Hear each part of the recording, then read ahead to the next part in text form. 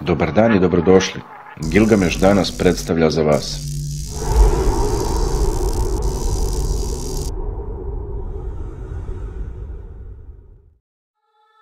Osvrnut ću se na sve popularniju temu NLO-a, ali sa idejom da li mi u stvari imamo neki dokaz njihovog postojanja. Znamo da se pojavljuju u raznim oblicima, od oblika cigarete do krugova dima. Ima ih maltene u svim geometrijskim oblicima. Zašto ih onda zovemo leteći tanjiri? U novijoj istoriji 1947. godine biznismen Kenneth Arnold svedoči prvom značajnom susretu sa NLO-ima. Leteći svojim malim avionom blizu planine Rainer u Washingtonu, Arnold je opazio grupu od devet objekata koji su se kretali velikom brzinom. Objekti su po njegovoj tvrdnji bili u obliku polumeseca. Jurili su nekoliko hiljada kilometara na sat. Opisivao je njihovo kretanje kao tanjiri koji igraju po vodi. U naknadnom novinskom izveštaju greškom je rečeno da su objekti bili u obliku tanjira, što je dovelo do stvaranja izraza leteći tanjiri. Neću se dugo zadržavati na pojedinačnim slučajevima, samo ću da pomenem one najpoznatije. Na kraju ćemo se osvrnuti na to da li dokazi postoje. Iste godine kada je Arnold sreo leteće objekte, farmer Brazel naišao je na misterioznu olupinu dugu 180 metara blizu vojnog aerodroma u Rozvelu, Novi Meksiko. Lokalne novine izveštavale su da su to ostaci letećeg tanjira. Američka vojska izdala je saopštenje tvrdeći da je to bio samo meteorološki balon, mada je fotografija u novinama sugerisala suprotno. Plamen teorija zavere dodatno je podgrejan 1950. godina.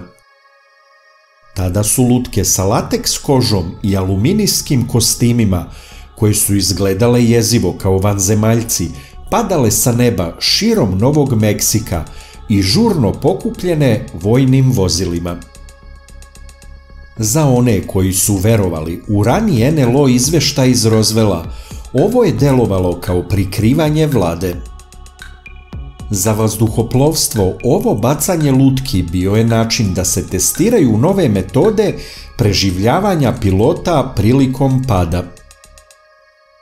50 godina kasnije vojska je izdala naknadno saopštenje priznajući da su ostaci iz Rozvela bili deo projekta Mogul, tajnog projekta za nuklearnu špijunažu.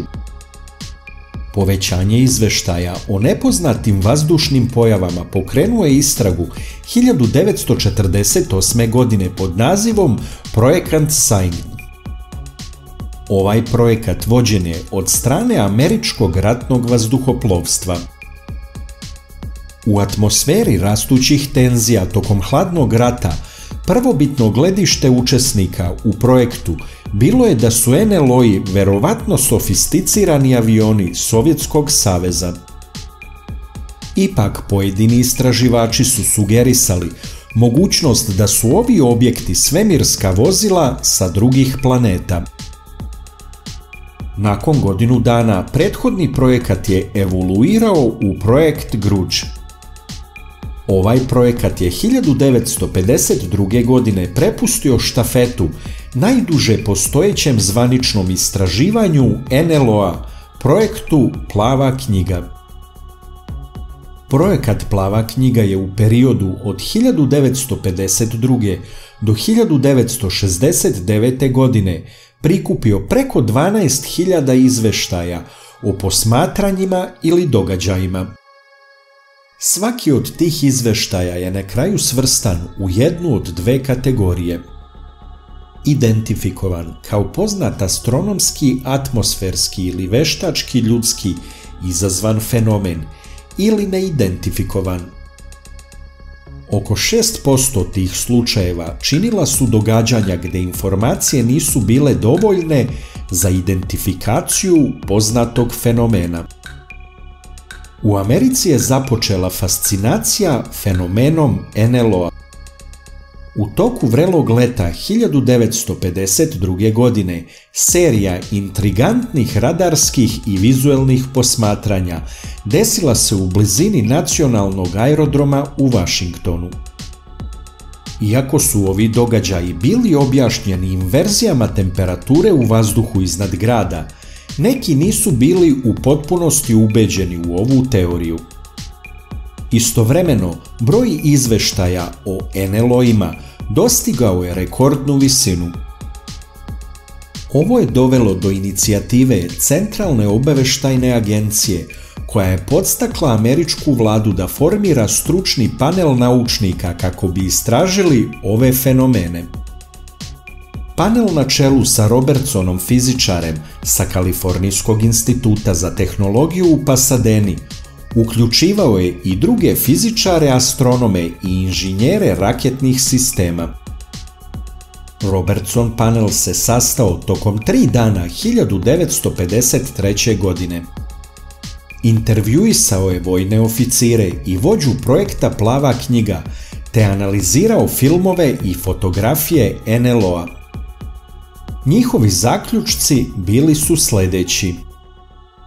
90% viđanja NLO-a moglo se lako pripisati astronomskim i meteorološkim pojavama.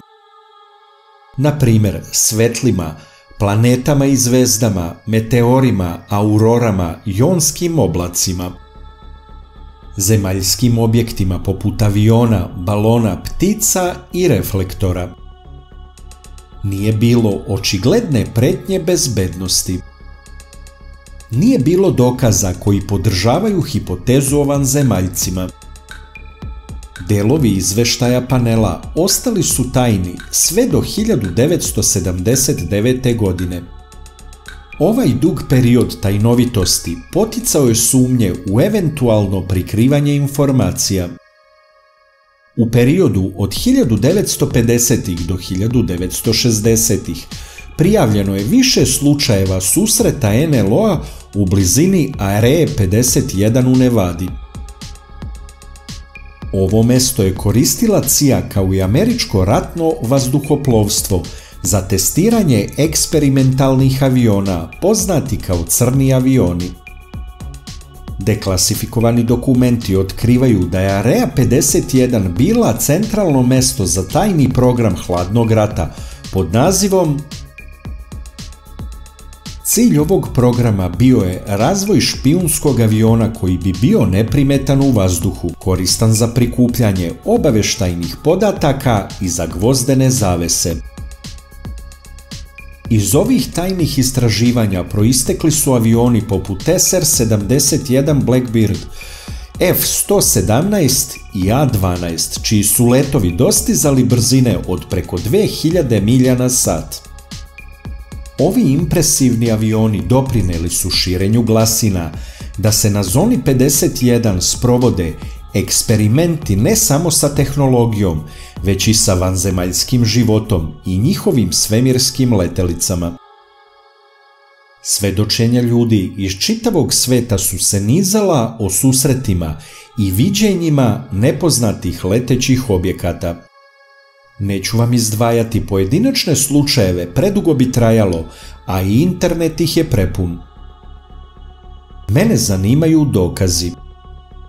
Da li je realno da ljudi redovno viđaju NLO-e, a sve što imamo su veoma loši snimci ili fotografije?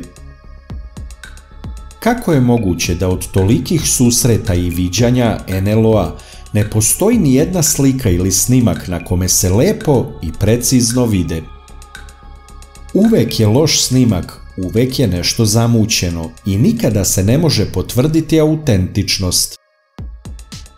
U doba tehnologije, kada imamo teleskope koji gledaju druge galaksije, koje su svetlosnim godinama udaljene od nas, u doba kada malo jači fotoaparat sa dobrim zoomom snimi rupe na mesecu, mi i dalje imamo samo mutne fotografije NLO-a. Evo na primjer, preizvesnog vremena su se pojavili neki crni prstenovi po nebu. Nastala je histerija. Svetski mediji su izveštavali o tome kao o nepoznatom nebeskom fenomenu, a onda gle čuda kako nastaje.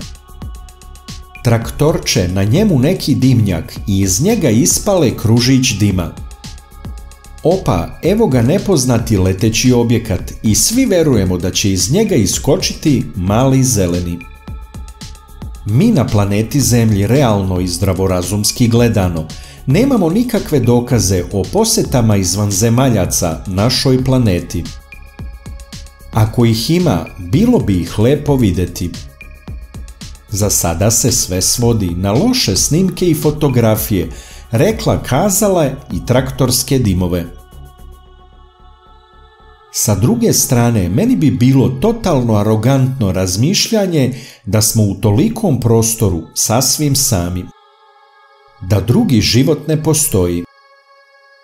Ali ako ga nema u našoj galaksiji, onda bi nas vanzemaljci trebali posetiti iz neke susedne, recimo prve nam najbliže.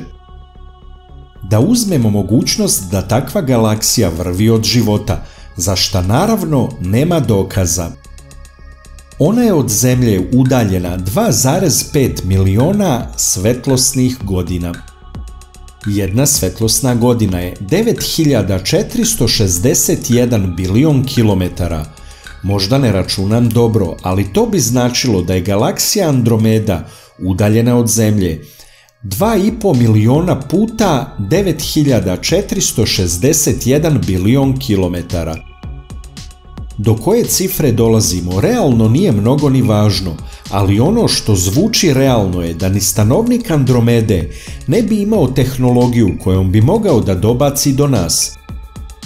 Da imaju tehnologiju kojom mogu da lete brzinom treptaja oka – i dalje bi bili spori da pređu zadati put u nekom razumnom roku, a da u tom prevoznom sredstvu ne ostare i prođe im životni vek. Verujem da postoji život izvan planete Zemlje, ali sumnjam da postoji i teoretska šansa da oni dobace do nas, kao što ni mi ne možemo dobaciti do njih, makoliko superiornu tehnologiju imali.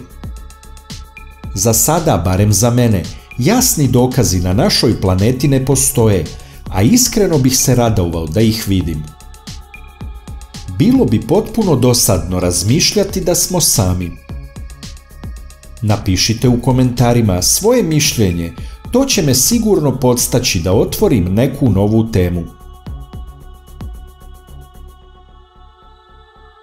Podržite nas klikom na like i prijavljivanjem na kanal ako to već niste uradili i budite među prvima koji će vidjeti zanimljivi, obrazovni ili misteriozni videoklip koji budemo postavili. Hvala vam na podršci.